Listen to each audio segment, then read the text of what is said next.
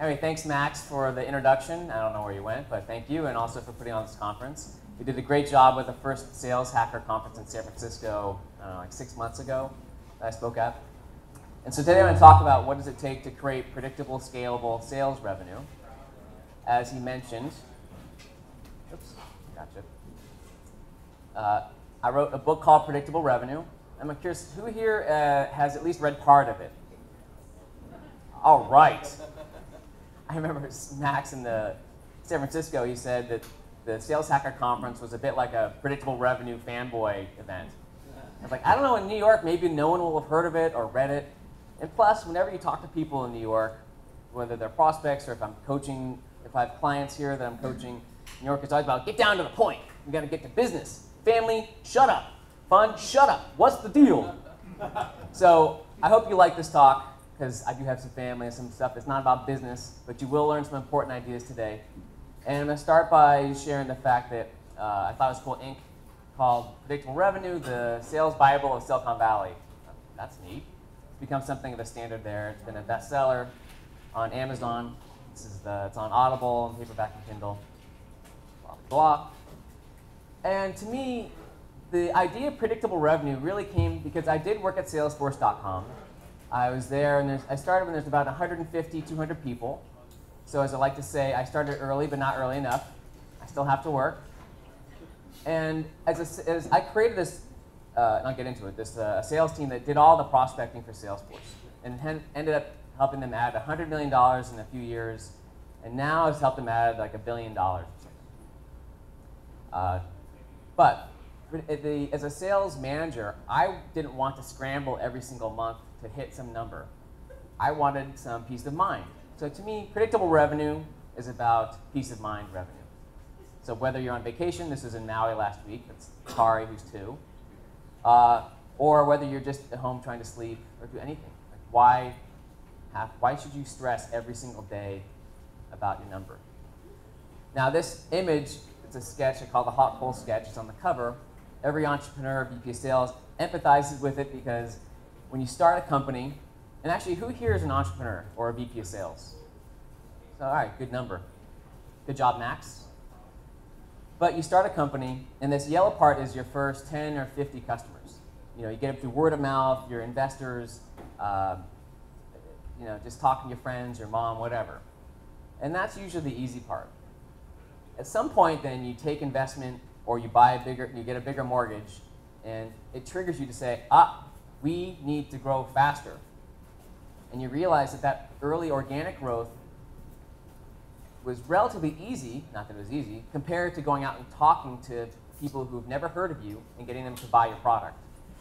So to go from this organic growth, and A, you go over these hot coals where you're trying all these different approaches. You're spending money on marketing or on sales and, um, I don't know, events. And some stuff works, a lot of it doesn't. But what you don't have is some sort of repeatable system to drive growth, which by getting that system in place, some sort of predictable way to generate leads and, and generate revenue, you get to the green side on the right where you can just scale. All right, so this is what I, with the book, or generally general, try to do is help you get through these hot coals as fast as you can with the most amount of uh, peace of mind. So today, what I'm going to share with is some ideas on how to help you do that. Some are from the first book, and some of the ideas today are from this new book I'm working on called The Predictable Revenue Guide to Tripling Your Sales. The sequel is going to be actually bigger and better. It's the, by the way, this, this page isn't up yet, but it'll be up at some point soon. I don't know, predictablerevenue.com slash triple. And just a little bit more about me personally before we start. So I mentioned I created this $100 million thing at Salesforce. And I left Salesforce in 2006. I've been consulting since then uh, helping other companies do the same thing, build a prospecting team that can double or triple their growth. But uh, I have a lot of kids. We got four today at home. One is due in two months, and we have three in process and adoption. So we could be at eight kids by the end of the year. Now, related to that, but I started this before I had a lot of kids. And by the way, I got married three years ago. my third year anniversary is in uh, two weeks. And you can try to do the math on how that works. But eight kids in three years, but um, you know, for a long time I've been working 20 to 30 hours a week, Uh, now recently more like 25 to 35 hours a week with a new book. But I've really, it's just like a fun fact, I've really tried to, I used to call it time box my work. And there's, I've written about it on my blog as to why, but I don't know, it works for me. So, I don't know, it's a fun fact. Last, uh, I mentioned I did this conference last fall. My daughter Aurora came up. It was really fun. Uh, this time, she's like, "Can I come to New York?" I said, "No, I got too much stuff going on." And to get into the actual presentation, I'm going to share some ideas. There's a lot of great sales and marketing ideas out there. There's a lot of really good ones. There's a lot of good ones. But how many of them are that make a huge difference? For example, because I'm always looking for, okay, you can get a 10% increase or 20% increase, but how can you get a 200% increase? For example, Acquia, and I think you guys remember Tim Bertrand spoke a little bit earlier, head of VP sales there. They were a, a client, consulting client of mine about a year and a half ago. You know, they went from growing really fast to now they're growing even faster. And with these ideas, they're going to add an extra $30 million next year in revenue or a company called Responsys. Now I can actually say their name because they were just bought by Oracle for 1.5 billion. Responsys was a, a, flat growth, as in they weren't growing, 20 million dollar company, and within five years they went to 200 million. Again, using these ideas. And a third example, I can't say their name, but they went from 1 million to 20 million in three years. So what I'm looking for is how can you not just get better, but how can you make a huge difference? And there are a few key ideas that help you do this. Now this is, I'm going to do five fatal mistakes. I like fatal mistakes. I don't know. I just like it. It's a thing. But one, and is there anyone here who's at a company with more than like 10 salespeople? Okay, good number. All right. This is more applicable to you. But there's this crazy thing in the world of sales that I think the average is 25% or 20, the average, the average team, sales team attrition that companies see is 20 or 27% across, I don't know, all kinds of industries. What that means is if you have 100 salespeople this year, by the end of the year, at the start of the year, by the end you will have lost 25. Whether it's they're fired or they left on their own, doesn't matter. Wow, that's crazy. If you lost 25% of your engineers per year, or if you lost 25% of your customers, it would be a board level calamity. But in sales, it's right, it's normal. It's like, oh yeah, oh good, it's down from 35%. Great, that's cool. But for some reason, it's accepted. I don't know. Anyway, it's crazy. So to me, if you're losing more than 10% of your sales team per year, something's wrong. And it's not them, it's you.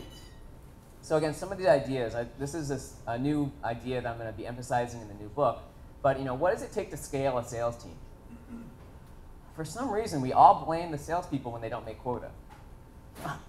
It's not the product. It's not the leads. It's not the system. It wasn't who hired them or trained them or who didn't train them. It was the salesperson. Now, but really, okay, if you're losing a lot of salespeople, how much of it is, how much of it is them versus how much of it is you? Look, it, it is both, but by far, companies don't take enough responsibility for their own systems. They don't have a sales system that works. So of course, when you take great people and put them in a bad system, you get bad results. If you take, if you have a great sales system, which could mean hiring and training and lead gen and everything else, but if you have a great sales system, if you put average people in a great sales system, you'll get really good results. So, that was my, uh, it's a little bit of a soapbox at the beginning, but let's start with um, second fatal mistake, which again is little, now this is more relevant to the earlier stage companies, but what does it take to, to get big growth? Well, if you don't have a niche yet, that's something that you need. Because without a niche, you're going to struggle. So we say pick a niche, get rich. And this is me leaving Salesforce. And I've seen this time and again, especially with earlier stage companies. You can be a, a bigger company that struggles if you have always grown through organic growth. So to be able to market or sell to cold customers in some way, you have to pick a niche. All right, so this is me. Why do I look, why is that such a funny face? I started goofing around with my daughter. That was a funny picture for this. But when I left Salesforce, the one thing I know I didn't want to do was to do sales consulting. I was like, I for sure don't want to do that. I'm sick of it. And I want to do, so remember I specialized, I built their whole prospecting function from scratch. I don't want to do sales prospecting. I'm like done and Plus, you know, it's just not that sexy. It's pretty limiting. It's small. I don't want to limit myself. And what happens is companies do this all the time. They're afraid to specialize. And when you, if you find that you're banging around, you just can't quite get things to click, this is the first place to look. Do you have a niche? Because it's a busy world, it's a crowded world, and unless you, your message and your product is, I say, sharp enough or focused enough to cut through the clutter, you're going to struggle. So, for example, this is an actual real company, and when you try to speak to everyone, no one can hear you when you're too vague. So I'll, I'll read this out because I know it might be hard to see. Uh, Acme provides professional consulting services to develop and support online business solutions, whatever those are. From startup to Fortune 500 companies, Acme assists clients to maximize their return on investment in the cloud. Gotta get the jargon in. Uh, by providing implementation, development, and value-added software solutions. Okay, what is, does anyone feel some sort of interest or, or desire to buy or learn more? The right answer is no, but it's just too vague. Right? They're trying to talk to everyone. We can, we don't want to miss anybody. We can sell to everybody, so we want, we need to make sure we don't miss out. One of those fears. But what happens is for customers, this is what you know, all this clutter is like. It's confusing. And when you start to really focus in and remove the clutter, it becomes a lot more obvious to people who don't know you how you can help them. Is that a neat trick? Yeah. Yeah. Yeah. You like that? You like that? I drew the money first, and then I put the rest of the letters in. It's backwards. See, backwards. So here's an example of a real customer, a company called Lead Genius. And uh, I worked with these guys like a year and a half ago. Really cool company. But they did crowdsourcing. Right, maybe you know what that means, maybe you don't, but the point is, okay, what? And they were losing 30000 they're spending, burning like $30,000 a month, and they had maybe four months of cash left. Okay. They had, they started the, okay, so that says niche, it's all fuzzy, but you'll see. And then they focused in. So crowdsourcing means they had these people around the world doing tasks. All right, well, well they had this thing, they had virtual assistants that were, was starting to take off. So a more focused version of their crowdsourcing. And by focusing just on that, they got to cash flow neutral or positive. Great, basically saves the company. And then, that's, there you go, niche, a little more easy to read. And then they focused even more, which is a more focused or niche version of outsourced assistant was outsourced prospectors or prospecting, specifically building lists and just sending initial emails. And when they started to, they created that, they, they targeted that niche and they, they had to figure out their process and how they did it, of course. But when they did that, they took off because it became very easy for people to see how to use it. How do you use crowdsourcing? I don't know. Let's, if we spend an hour talking about it, we can figure out a way. How do you use a virtual assistant? Uh, I, mean, I sort of know, but I, I need, I'm not really sure. I, how do you use an outsourced prospector? Duh. So that's the value of picking a niche and being very focused. And these guys, their problem went from uh, running out of money to now they can't keep up with demand. So, for you guys, the question would be, you know, what are you king or queen of? Who have been your ideal customers, or what can you, what are or could you be the best in the world at? The, um, I find it's easy to for people to get caught up in like these big ideas and forget to look at all the little small things. Because you know, small focus means a small point. So don't be afraid to look at small details or these little clues that can clue you into where you should focus. I don't know. So if you're a web services agency, it's very general. Maybe your expertise is at landing pages. Maybe it's at landing page buttons. I don't know. But don't be afraid to be to think small. Well, this is uh, Valentine, who's nine, and Pari, who's two. This is when she had shorter hair, but uh, I love that picture. And lastly, as you think about this and you look back, okay, for our customers, where have we made the most money? The easiest, where we created the most value. Okay, some customers are a struggle, some are not. Some we don't make money, some we do. You want to be in this upper right quadrant where you're making money with customers who actually really need you and can get value from you. I know, shocking, but sometimes we forget that in the scramble to get money in or customers signed up. Okay, so that was niche. Third fatal mistake is thinking sales team size drives growth. this is more of a classic sales uh, belief is that to double sales, double revenue, we need twice as many salespeople. Okay, yeah, maybe 30 years ago or 200 years ago when you had the tinkers out on the range, but today it's not, it's different.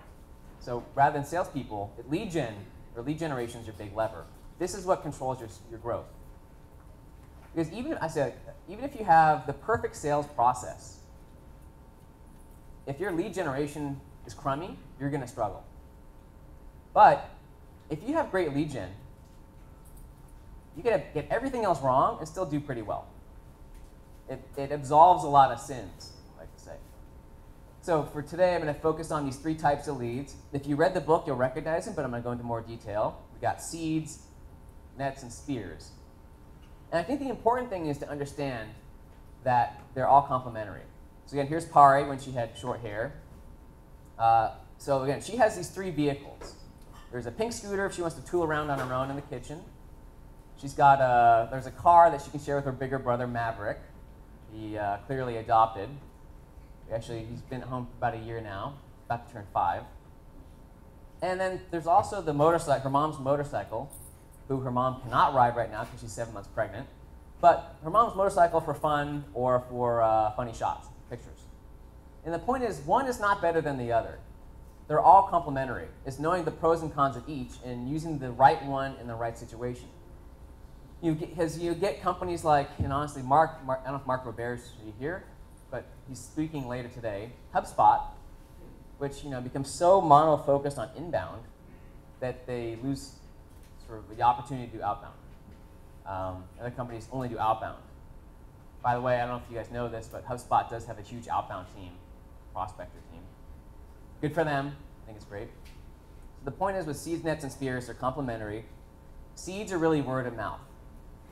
So it's that organic growth, happy customers, your networks, and so on. It's like many-to-many relationship-based selling. Nets are marketing. Now you might call it inbound marketing, but it's one-to-many, where you're casting a wide net and you're seeing what you get back. And spears would be usually prospecting or business development, where you've got a human involved and they're going through a targeted list. So let me go through them. So here's seeds again. The, so we're talking about predictable revenue. And so the best way that I believe is to systematize word of mouth or seeds is with a customer success program or approach. Right? So this is about turning your funnel into an hourglass. You know, the traditional funnel, I got this idea from Gainsight, which is a customer success sort of app. But traditional funnel has marketing leading to sales, closing. But if you're an entrepreneur, especially a CEO, founder on the board, you need to treat customer success like an investment and realize that if you invest in customer success, it will return. You know, this bottom of the funnel. You can make more money from happy customers than from, uh, you know, PPC. So here's three success metrics that I like to share. And these are rules of thumb. They're sort of accepted, I think, in SaaS. So if you have a SaaS company, and probably not all of you all do, but is per year you want your called logo attrition, but the number of numbers of companies that leave you to be less than 15% or less per year, which is a little over about 1% per month. You want, ideally, your revenue, your revenue churn, which is the amount of uh, money you're making per year, to, to at least be zero, maybe even be negative, which means that, yeah, you're losing customers, but the ones that stay are spending more with you. They're adding more seats, buying more products.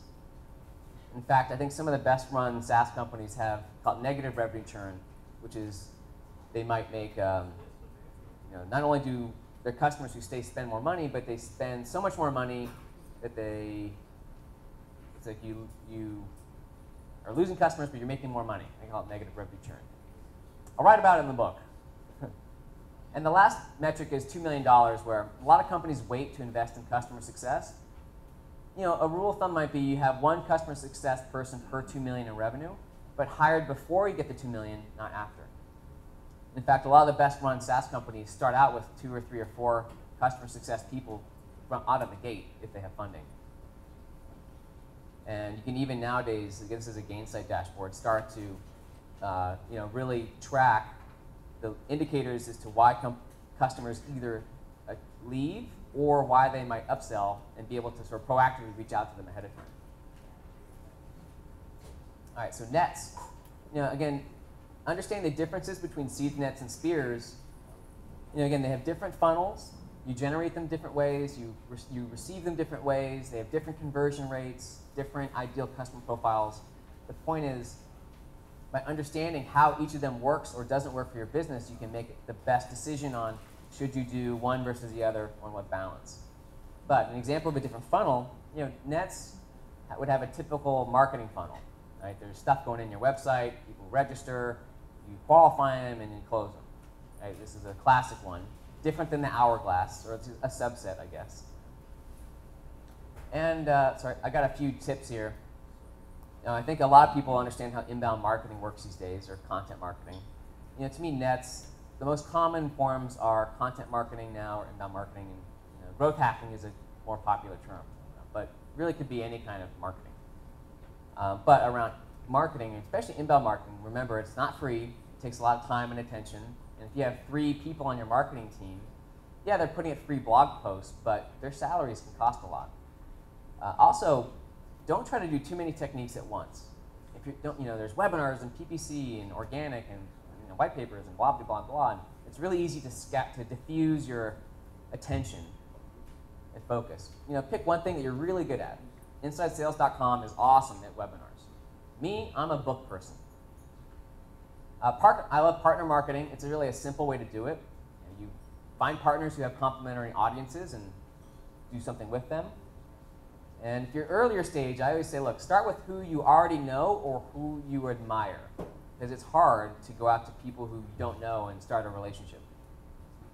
By the way, uh, Kyle, if you, Kyle Porter here, who's coming after me, is here, and I'm highlighting how they did some of this in the next book. But he'd be a good person to ask because they did a great job with this.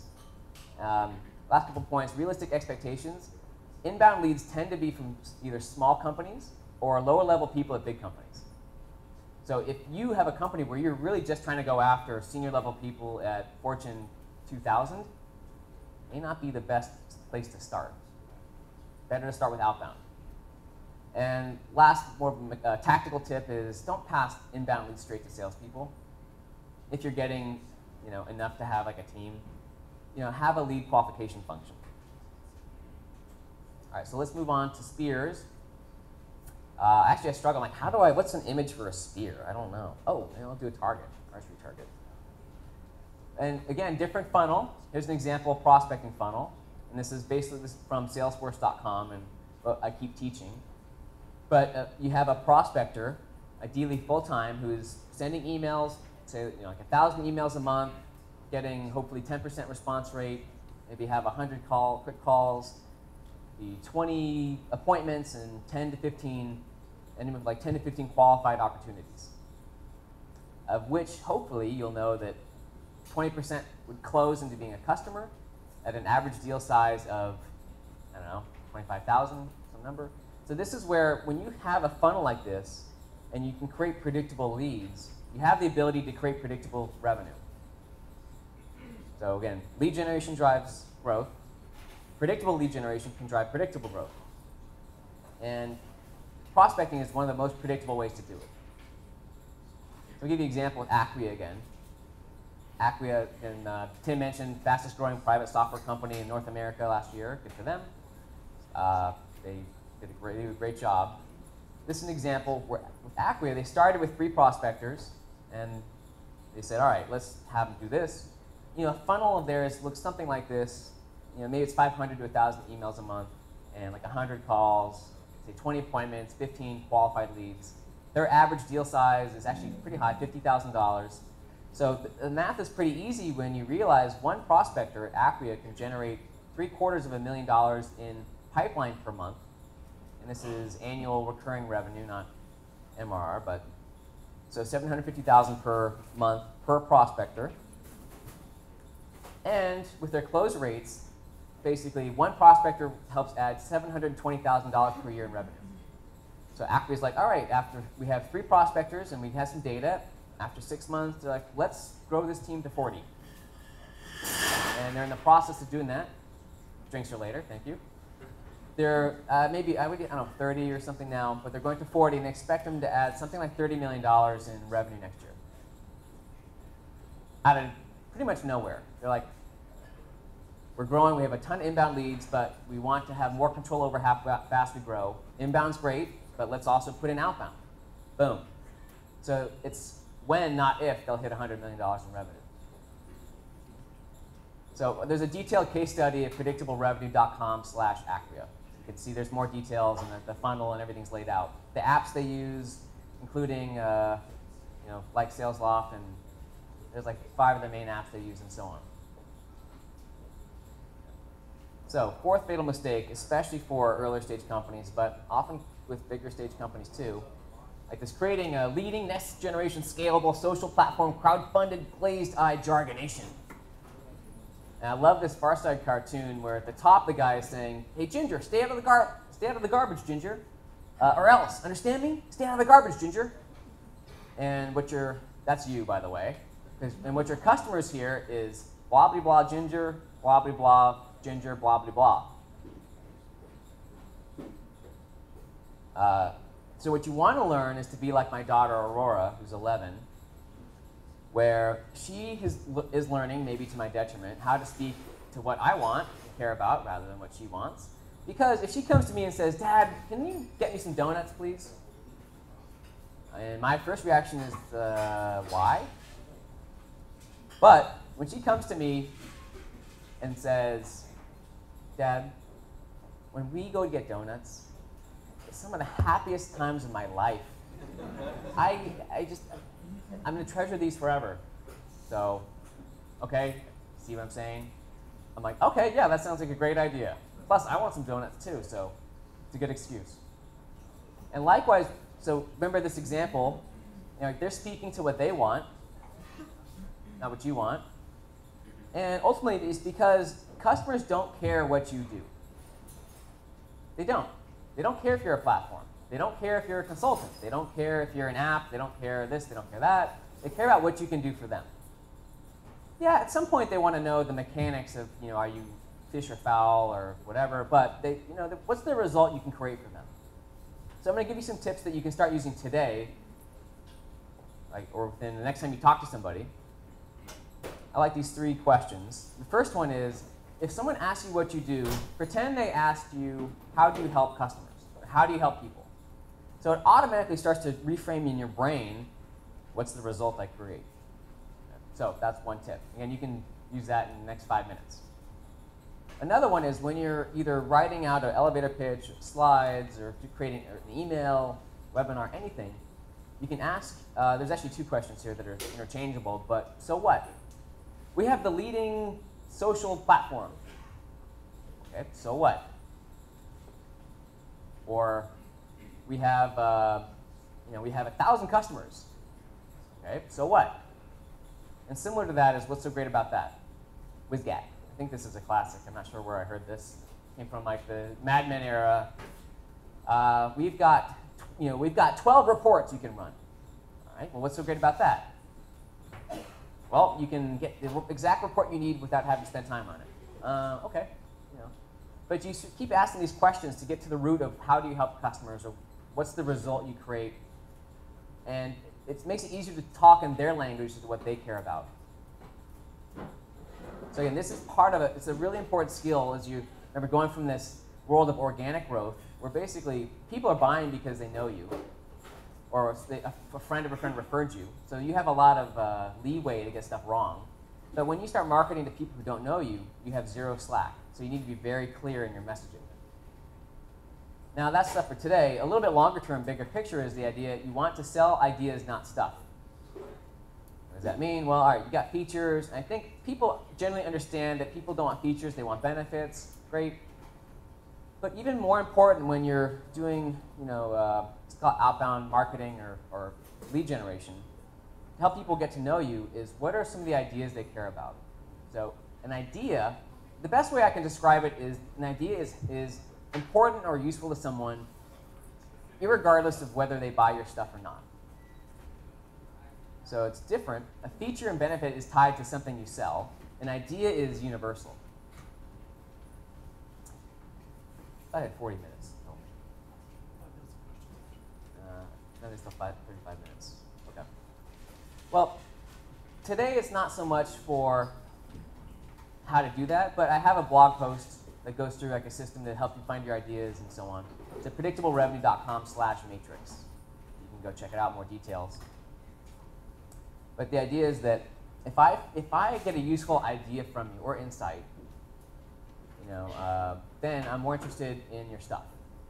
So. All right, last fatal mistake, not specializing your sales roles enough. Now this I call it, it's a, it's a uh, you know, force multiplier. It makes everything else better. But let's start with the fact that salespeople shouldn't prospect. They aren't any good at it, they don't like to do it, and it's not sustainable or repeatable. You can't build a team around it. Once in a while, you get a salesperson who can prospect and close, but usually what happens is, even if they can prospect, and most can't, they get some pipeline, they have to work on that, they stop prospecting, they get into this up and down roller So, there you go. And there's an article about it called Why Salespeople Should Prospect You Can Find. It's like teaching pigs to sing, just annoys the pig and frustrates you. honestly, look, same thing about the systems. If, if every sales manager in the world complains that their people don't prospect enough, hmm, maybe it's the system, not the people. So, how, what do you do about it? Well, this is my son Valentine, who's nine. It's the same thing. Like, if we try to get him to, sit still at a meal, it, you, I'd either have to use handcuffs, Benadryl, uh, or a beer for myself, because it just doesn't happen. He's going to get up and run around. You know, just got to accept, partly accept it. I don't really have a better solution this point. But for you, I have a solution around prospecting sales. And the whole idea is focus. So by specializing your salespeople, your sales teams, and what that means is you've got in the upper left prospectors who prospect. In the middle, you've got closers who close. In the bottom left, you have inbound lead qualifiers who respond to all your inbound leads but don't close. And on the far right, you've got uh, you know, post-sales support. Could be customer success or account management or whatever you want to call it. And, and you can even take this further. But the whole idea is you have certain people focusing on certain important skills. Like any sports team. I've been trying to think of a sports team where you don't have uh, positions. I haven't found one yet. I'm sure there's one out there. But football, soccer, you know, rugby, whatever, you have people play positions. So why is it in sales we'll have a, a team of five or 50 salespeople who all do their own prospecting, do their own closing, and manage their own accounts? It's, it's rough. Now the benefits, when you specialize, you actually then now can create more predictability. Because not only, first of all, you can see what's working and what's not more easily. As you can tease apart, okay, outbound, is that working, or inbound, or closing, or account management when everyone's doing everything, you can't, it's like a hairball. Also, you now can be more scalable because if you need, like Lego blocks, to add, if you need more pipeline, add prospectors. If you need more salespeople, add closers, and so on. It makes it a lot easier to hire and train. And one of the best things, you can then create more of a farm team system so that you can hire junior people, move them up through the ranks, and you can create a very high success rate for your salespeople. Because hiring people from the outside is very risky. I don't know, let's say it's a 50% success rate, or, you know, on average. But when you promote someone up from inbound to prospecting to closing, you pretty much know 95% of the time if they're going if they're to succeed or not. And they're already trained, they already know the people, the product, the market. So you have a very, your, your uh, ability to grow your sales team is very, it's much, much easier than trying to have a generalized sales team and you're just firing people and replacing them. So it's one of the best ways to reduce attrition. So ultimately, look, if you don't specialize, you are going, you will struggle to grow your team. Plus, by specializing, you can make things like prospecting very effective. Part-time prospecting just doesn't work. It can work a little bit here and there, but it's not sustainable. You need someone who's doing it full-time to do this, or to do what Acquia is doing dedicated prospectors who don't respond to inbound leads and they don't close. Do we have that? All right. So again, as I started, I want you to think about again is whatever you have, if you are struggling, and maybe your sales team attrition's high, or maybe you don't hit your numbers, whatever it is, how much of it is your system versus your people? And what is it that is causing the problem? I, my belief is it's usually the systems, not the people. And by the way, part of a system is picking and training good people. So even if you have people who aren't working, it's like, why did you get those people? All right, so I'm going to wrap up here. All right, so a, a, few just summary points. So again, focus on the sales system, not the people. Uh, you know, going back to niche, what can you win at, or what have you? What's been the easiest to win at? There's the seeds, nets, and spears. They want to, you want them to work in harmony, but pick one at a time to master. Don't try to do it all at once. And you should have all three at some point. If you do have a segment of customers that are worth at least $10,000 in lifetime value at a minimum, you, you, if you're not prospecting, you need to have a dedicated prospecting function. If, if you don't have any of those bigger customers, you should figure out how to sell bigger deals like that. It's, it's hard to build, build a big business out of small deals. And remember, today, when people ask you what you do, pretend that they asked you how do you help people. And lastly, whatever way you're specializing today, how can you further specialize? And even if you're just one person, by the way, you can specialize your time.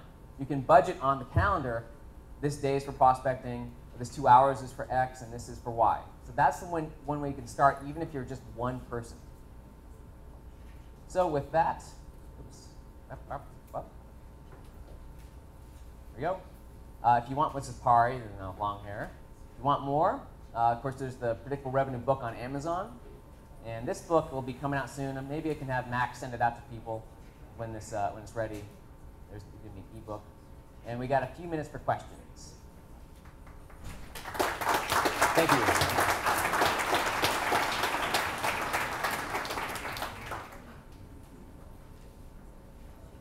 Questions? Uh, sure. I saw you first. Hi, I'm Julie. Oh, yeah, Mr. Organ's. Uh,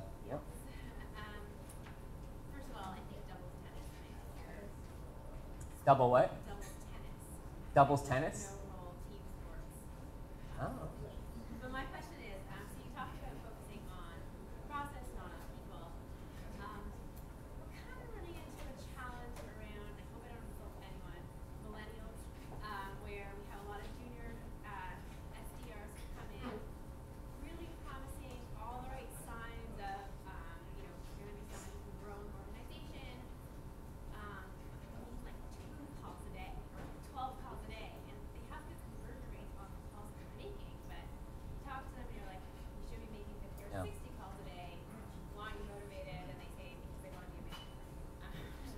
You got millennials who aren't working very hard and they want to be managers yesterday. yeah. Yeah. Yeah. Hey, you know, so I think this is where a career path makes a lot of sense. Really helps. It's harder when you're younger, but a lot of it's expectations when they're hired, managing them. Regular communication. You know, I'll be, uh, I have a client right now that's been struggling with this, and honestly, like the manager just doesn't talk to him very much. Like basics like that. You know, giving them something to learn. Eh, like if I don't see how 60 calls is going to help me if I don't see the value of it because honestly, most sales teams are like, make 60 calls a day. Why? Well, because I said so. Okay. Well, is it the people who are doing that? Are they making their number? No. Okay. So when you have like a system in place that shows people a path to success, it's easier just for them, them to see. Okay, if I make 60 calls, and I don't believe in call counting, but it's not. Then I know I'll, I'll get some this, and if I get that, then I get this. So that might be another missing link is like, what does 60 calls get me? Why should I work hard if I don't understand the point to it?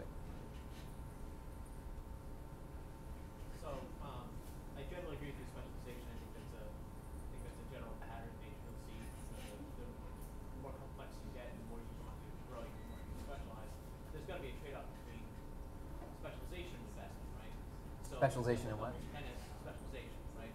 You have doubles tennis. There's two people, so there's not a lot of positions to be had. There's a soccer team, there's positions had. So what point does it a sales team where you should start growing in, in organs or specialized functions, and at what point should you invest in that? Sure. So basically, uh, how big should your sales team be before you start specializing? Because if there's one or two people, what's the big deal? Obviously, if you have 10, well, you start specializing when you have one person, really, with your time. And more usually what I would say is if you have two people, better than two closers is one prospect and one closer. So in general, you're not too small to start specializing ever. And there's always exceptions to everything. I mean, like for a bunch of you, this may all be crap. So you ultimately have to decide what works for you. So, So just to piggyback off that, um, how would you change a uh, relationship-based sales model into this uh, that exists right now? How do you, how do you change a relationship-based sales model into this? Um, usually, there's a relationship-based sales model because there's a relationship-based sales leader. Or what kind of business is it? Serve consulting? Yeah. Um, is it? Well, I guess in general, regardless of what the sales model is today, how do you take your current sales model and what's the advice to change it into? A system. Yeah. Okay. So how do you change a relationship-based, or maybe it's not as, as systematized into a system? I mean, honestly, it begins with deciding to do it. And there's a lot of VPs of sales who aren't systematic, and they're relationship-based because that's what they know. And you either need to change them or get someone to complement them who wants to do this and can do it. Um, that- I mean, that's the beginning. And pick, you know, just pick one area to begin with. Could be prospecting, could be customer success, but start to measuring it and do A/B tests. So start small, something just you know you can get some progress in quickly to show that it works, and then build on it. Don't try to do everything at once; it's just too much. Should we do was like one or one more? Okay. All right, Mr. Way back. And you need to speak up a little bit, please.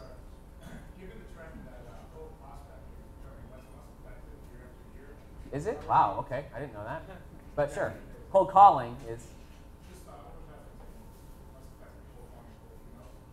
Um, how are you recommending people that adopt this tier model uh, help their clients or help their salespeople shift gears and understand how fast?